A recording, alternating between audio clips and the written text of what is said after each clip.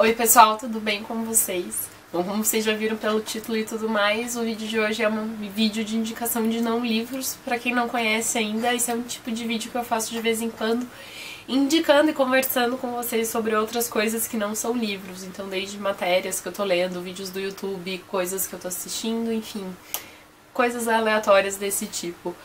Tô aqui com o meu chá, é, resolveu fazer frio ali em Curitiba, no começo de dezembro. Eu tô achando ótimo, porque enfim, eu, eu curto um frio. Mas enfim, é, eu tô com meu computador ali também com todos os links, então se de vez em quando eu der uma olhada é por causa disso. É, eu não tenho lido tanta coisa assim de matéria, nada, então se alguém quiser me indicar alguma coisa nos comentários, por favor, deixa ali.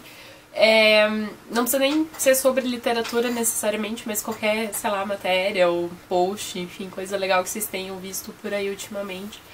É, porque eu não, não tenho tanta, tanta coisa pra, pra compartilhar hoje.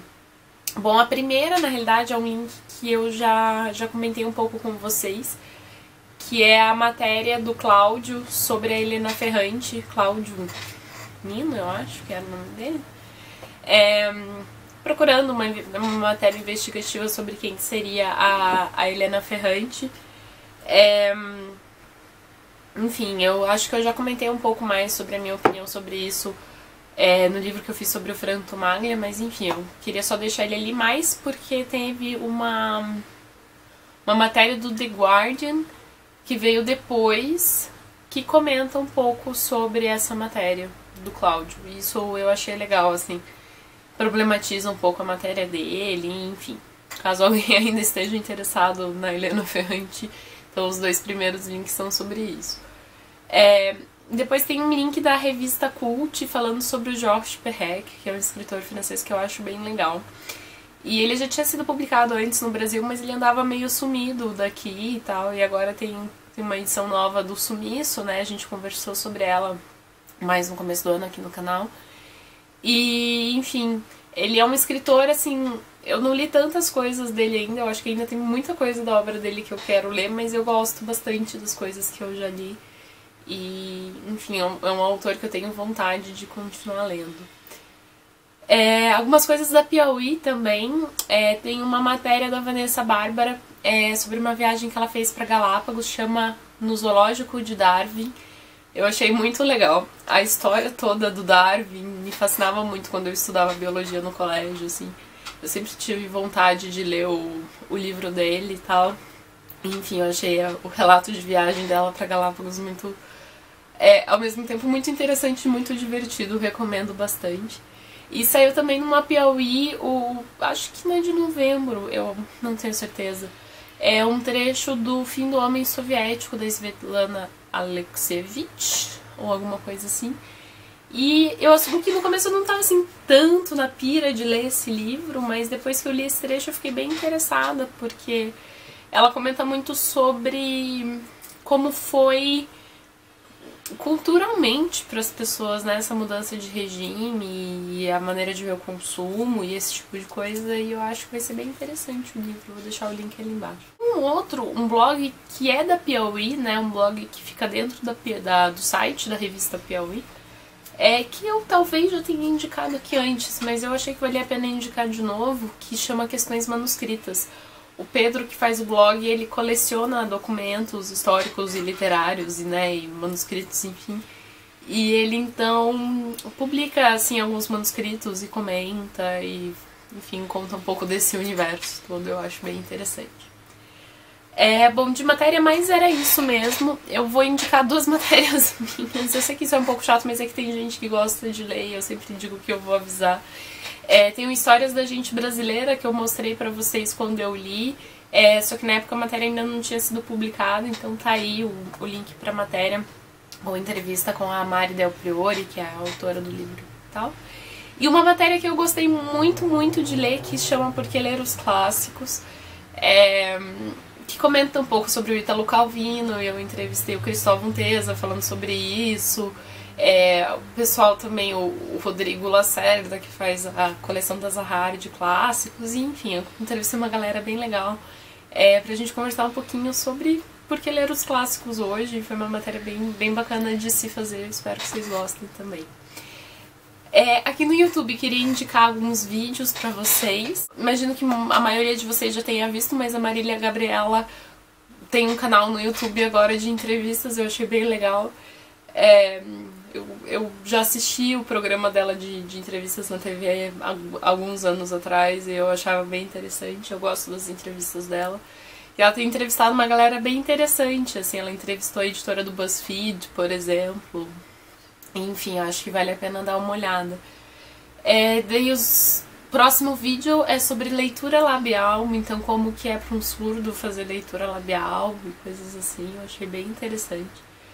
É, e tem também um vídeo da Jane Campbell, é um canal que eu gosto muito, ela é uma pessoa que trabalha bastante com livros, ela foi livreira, ela escreve livros e trabalha como freelancer aí para a indústria é, dos livros. Ela é inglesa e ela recentemente participou de um prêmio literário como avaliadora das obras inscritas, né? E ela comenta, então, nesse vídeo ela chama uma outra moça que também foi avaliadora desse prêmio. E elas comentam um pouco sobre como foi essa experiência. E eu achei, enfim, bem interessante. Bom, sobre coisas que eu assisti nos últimos tempos, eu também não tenho assistido tantas coisas e a verdade é que eu não tava anotando as coisas que eu tava é, assistindo, então eu tentei lembrar, eu não devo ter lembrado de tudo, mas eu vou comentar isso e caso eu for lembrando eu coloco nos próximos vídeos.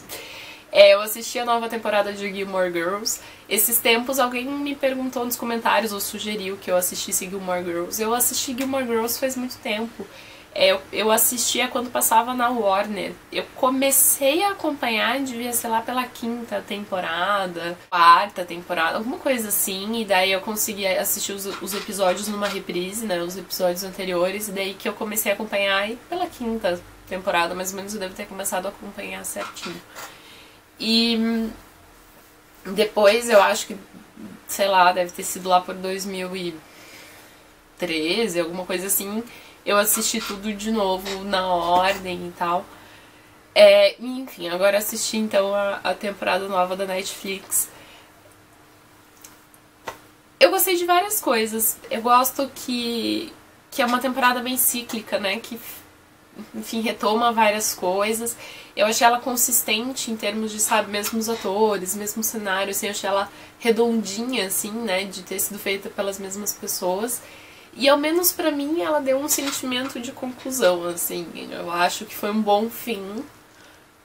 É, nesse sentido, assim, de que agora eu sinto que a série terminou de fato, coisa que eu não sentia na, quarta, na, na sétima temporada. Eu acho que boa parte das pessoas que assistiram se sentiam assim.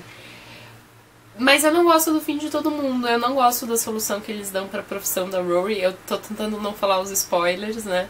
É, mas eu achei tão sem graça, tão assim. Eu achava que ela era melhor, assim, não sei. É, eu gostei muito do final da Emily. Acho que ela achou a paz dela, assim. Eu achei essa parte legal. É, mas teve, teve, várias coisinhas, assim, que eu achei meio desnecessárias, assim. Eu, eu a, achei legal, mas eu não amei, basicamente. Se alguém quiser conversar mais, a gente pode conversar em mais detalhes daí nos comentários. É, eu assisti o, o filme novo Harry Potter, não Harry Potter, né? O Animais Fantásticos e Onde Habitam. Eu achei legal. É, eu achei legal que ela tá ampliando o nosso conhecimento sobre o mundo mágico e retomando essa história anterior que é, que faz parte desse mundo, enfim, achei interessante. É... Gostei também da gente ver uma comunidade mágica não inglesa, né? Gostei de tipo, ir para os Estados Unidos com eles e tal. É, não sei se eu gosto da escolha do Johnny Depp.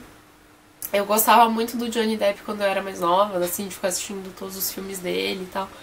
Mas não sei, ele não me convenceu naquela cena minúscula. E, enfim, com essas notícias recentes também não sei se foi uma boa. Uma das melhores ideias. Mas enfim, eu, eu achei legal. Não sei se eu vou ler o livro, é, sei lá, o roteiro, né? Talvez quando for sair o próximo filme eu tenha vontade de ler pra né, relembrar e tal. Mas a princípio não sei se eu leria tão logo, porque sei lá, acho que ficam já vendo o filme, né? Talvez o roteiro eu acho meio acessório, assim. Eu assisti também um filme sobre o Snowden, Snowden, que foi Snowden, herói ou traidor, alguma coisa assim. Eu tenho um livro do Glenn Greenwald que eu ainda não li aqui em casa, que é o jornalista que inclusive é um personagem do, do filme do Snowden. É, e eu quero ler porque eu acho que tem bastante coisa, né? O, o filme é sobre. O, desculpa, o livro é sobre isso. E, mas eu achei interessante, assim, eu acho que eles conseguiram colocar um pouco da história num, num jeito mais compreensível, né? Porque toda essa crise da informação tal foi uma coisa tão louca que, que enfim, achei que ao menos é, ter assim essa versão da historinha assim é uma coisa interessante. É, mas também não achei assim incrível. Outro filme que eu vi que eu tava esperando muito se chama O Mestre dos Gênios. É uma cinebiografia do Max Perkin, que foi o, é, o editor de várias pessoas, tipo do Fitzgerald e do Hemingway, e enfim.